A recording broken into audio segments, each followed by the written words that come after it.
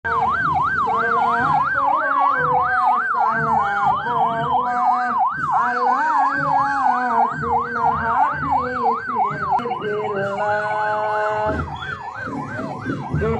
syukur maring pangeran Sebab lahir manusia.